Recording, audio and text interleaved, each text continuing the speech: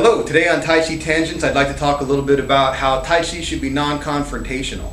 Uh, tai Chi takes any kind of aggression or outside vector of force into our body, and instead of meeting it force on force, we like to just deflect the energy off to one side or the other. Now, that energy can come in the form of an actual attack, a self defense sort of scenario where somebody comes up and throws a punch on you, and we just stay relaxed and let them just go the way they want to go. But it could also happen in a more, I don't know, spiritual or psychological or mental way where someone comes up and griefs you verbally, or they're getting in your face, or they're giving you hostility or whatever. The trick is for your own health and your own balance, don't react to it in a confrontational manner. Just yield and let that negativity move right on by you. We don't want any of that negativity to go into our body. So stay soft and stay yielding and keep your Tai Chi non confrontational.